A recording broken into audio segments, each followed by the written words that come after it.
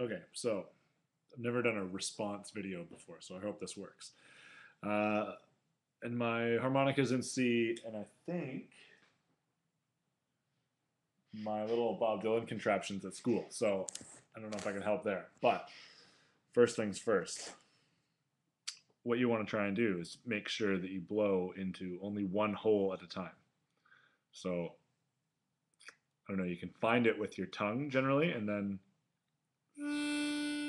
try and concentrate your breathing to make one note.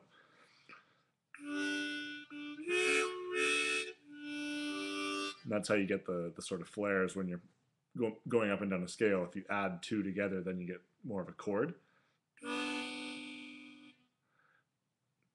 But basically, um, if you're trying to play along with someone and they're playing in the right key, you almost can't play a wrong note.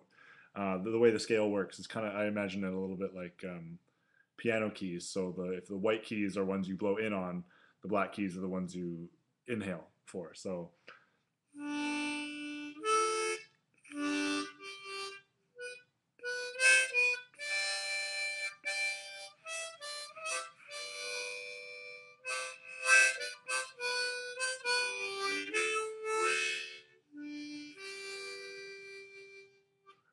And it's a little bit like soloing along with a guitar, where if you find yourself on the wrong note, you can maybe bend it up or recover on the next beat, and it won't sound so so out of place. But um,